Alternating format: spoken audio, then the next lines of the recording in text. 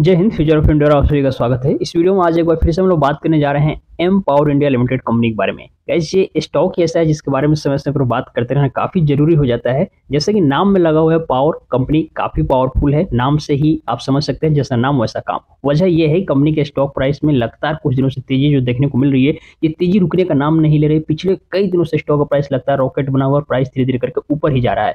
अब जो लोग बेचारे अभी तक इसमें इन्वेस्टमेंट नहीं कर पा रहे हैं, वो अपने आप को फियर ऑफ़ मिसिंग आउट एक शब्द प्रयोग किया जाता है स्टॉक मार्केट में, FOMO fear of missing out इसमें अपने आप को आ, मतलब आ, ये सम्मिलित कर रहे हैं कि इन से ये स्टॉक में इन्वेस्टमेंट करना मिस हो गया। हालाँकि घबराने की कोई बात नहीं है इस स्टॉक में बताऊँगा कि अभी तक इन्वेस्टमेंट नहीं कर पा रहे हैं तो आपको आगे क्या करना है?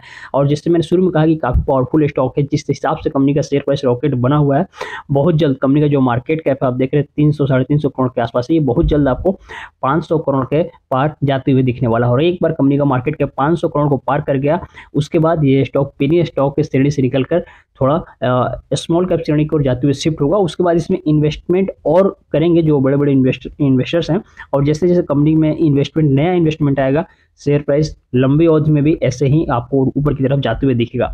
यहाँ पर देखेंगे जब आप बी एस इंडिया की वेबसाइट पर तो आपको जब मैं नोटिफिकेशन में देखा हूँ पावर इंडिया लिमिटेड की, उससे पहले यहाँ पे देखिए ये स्टॉक भले ही रेड फ्लैग में है एम एस टू की श्रेणी में, लेकिन इसके शेयर प्राइस पे कोई फ़र्क नहीं पड़ता। शेयर प्राइस में लगातार आपको डेढ़ परसेंट दो परसेंट तीन परसेंट डेली तेज़ी देखने को मिलेगा और जब नोटिफिकेशन देखेंगे तो यहाँ पर आपको स्पष्ट दिखेगा पिछले कई दिनों से स्टॉक लगातार अपर सर्किट में चल रहा है।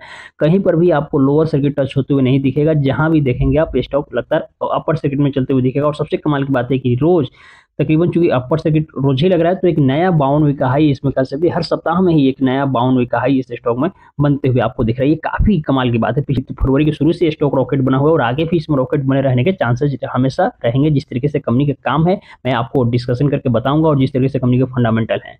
एक चीज़ गाइज़ मुझे यहाँ पे काफ़ी कह सकते हैं कि निराशाजनक लगी। कॉर्पोरेट एक्शन जब आएँगे तो देखेंगे कंपनी ने जो लास्ट टाइम डिविडेंड दिया था वो 2010 में दिया था। 2010 के बाद कंपनी में कोई भी नया कॉर्पोरेट एक्शन होते हुए नहीं दिखा है, जबकि कंपनी इतना कमा रही है, कंपनी के जैसे शेयर प्राइस लगता है रॉकेट बने हुए प्राइस ऊपर जा रहा है शेयर प्राइस बढ़ रहा है, इस कंपनी का फंडामेंटल मज़बूत हो रहा है, कंपनी के पास पैसा आ रहा है तो कंपनी को कहीं ना कहीं नया डिविडेंड या बोनस इशू करना चाहिए था। इस साल में जो कंपनी के क्वार्टर थ्री के नंबर आने थे, वह भी आ गए हैं, लेकिन लोगों को उम्मीद थी क्वार्टर थ्री के नंबर में कुछ ना कुछ कॉर्पोरेट एक्शन होते हुए दिखेगा, लेकिन नहीं दिखने को मिला। ये गलत बात है। कंपनी के जो बड़े लोग हैं, जो बोर्ड ऑफ़ डायरेक्टर्स हैं, उनको इसके बारे में ज़रूर सोचना चाहिए था। लेकिन खैर एम पावर इंडिया लिमिटेड यदि आपको डिविडेंड या बोनस नहीं दे रहे तो चिंता करने की बात नहीं। कंपनी का शेयर प्राइस ही काफ़ी है। हमें बस इससे मतलब है कि शेयर प्राइस बढ़ते रहे और हमारा जो इन्वेस्टमेंट है, इसके साथ साथ बढ़ते रहे। कंपनी जो काम करती है आईटी सेक्टर से बिलोंग करती है और आईटी सेक्टर देखिए, देर सवेर इसमें तेज़ी आनी थी, तेज़ी आ रही है और लंबी अवधि में भी आई स्टॉक्स में तेज़ी बने रहेंगे। तो इस हिसाब से काम के हिसाब से कंपनी इंपॉर्टेंट है ही, और जिसमें बताया कि फंडामेंटल भी ठीक है कंपनी का जो शेयर प्राइस है बुक वैल्यू से ज़्यादा है प्लस जो रिटर्न ऑन इक्विटी है और जो आर है, यह माइनस में, हालाँकि यह माइनस में नहीं सॉरी प्लस में ये बढ़िया बात है और कम है, ये अलग बात है, लेकिन यह प्लस में है, ये भी काफ़ी बढ़िया बात है।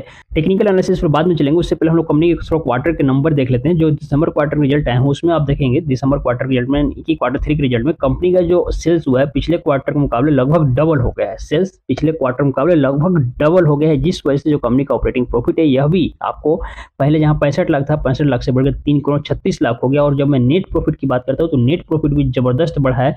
नेट प्रॉफिट जो होता है वो टैक्स वगैरह देने के बाद बचता है तो कंपनी के पास जब नेट प्रॉफिट देखेंगे तो यह भी जैसे पैंसठ लाख से बढ़कर तीन करोड़ छत्तीस लाख हो गया है। तो कह सकते हैं, लगभग तीन गुना से भी ज़्यादा कंपनी का नेट प्रॉफिट हुआ है, और कहीं ना कहीं यही असर है, जब कंपनी के पास कंपनी का सेल्स बढ़ेगा तो ज़ाहिर सी बात है कंपनी का प्रॉफिट भी बढ़ेगा, और ये सेल्स और प्रॉफिट बढ़ने का नतीजा है, जब आप कंपनी के बैलेंस शीट पर आते हैं तो इसमें आप देखेंगे कंपनी के पास फ़िलहाल कोई डेप्ट नहीं है। कंपनी ने अपने डेप्ट को लगभग लगभग रिड्यूस कर लिया पहले, पिछले क्वार्टर में छियासी लाख आसपास डेप्ट था, लेकिन अभी फ़िलहाल कोई डेप्ट नहीं है प्लस कंपनी का जो रेवेन्यू होता है वह भी आपको बढ़ते हुए दिखेगा। रेवेन्यू सॉरी रेवेन्यू करें जो रिज़र्व पैसा होता है कंपनी के पास एक, एक करोड़ एक सौ सतहत्तर करोड़ के आसपास हो गया है।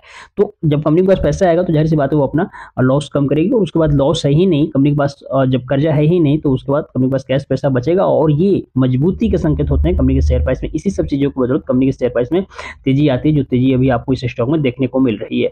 अब समझते हैं कंपनी के चार्ट पर चलते हैं। हम लोग चार्ट में समझते हैं कि अभी आपको करना क्या है। तो देखिए एक साल के चार्ट पर देखेंगे कंपनी का शेयर प्राइस लगता है रॉकेट बना हुआ है। कहीं पर भी इस तरीके के आपको आपको थोड़ा सा रिट्रेसमेंट होते हुए नहीं दिखा है नवंबर दिसंबर के बाद। तो ज़ाहिर सी बात है, जहाँ अभी तो इस चढ़ती हुई रेलगाड़ी में चढ़ना नहीं है, जब तक कि स्टॉक का प्राइस थोड़ा सा रिट्रेसमेंट करके नीचे नहीं। मुझे लगता है साढ़े तीन या साढ़े तीन के लेवल को भी ऊपर निकाल तो पाँच रुपये के लेवल तक जाएगा, चूँकि पाँच रुपये का लेवल एक साइकोलॉजिकल नंबर है, और फिर वहाँ से रिट्रेसमेंट हल्का होगा, और जहाँ से रिट्रेसमेंट होकर प्राइस घूमने लगेगा, फिर आप नए व्यक्ति वहाँ पर एंट्री लेंगे।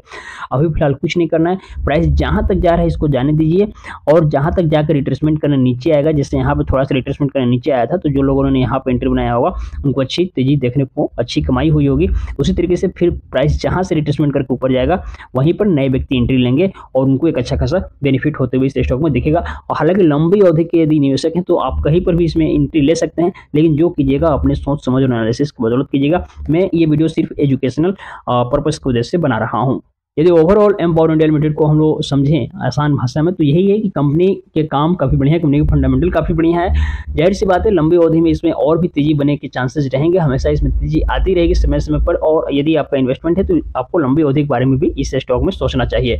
तो उम्मीद करता हूँ, जो जानकारी मैंने दी, आपको बातें समझ में आ रही होंगी। मन में कोई भी कन्फ्यूज़न है सवाल कमेंट में ज़रूर पूछिएगा। व्यक्तिगत रूप से जुड़कर बातें करने के लिए मुझको इंस्टाग्राम पर फॉलो कर सकते हैं। मिलते हैं अगले वीडियो में, तब तक धन्यवाद, शुक्रिया।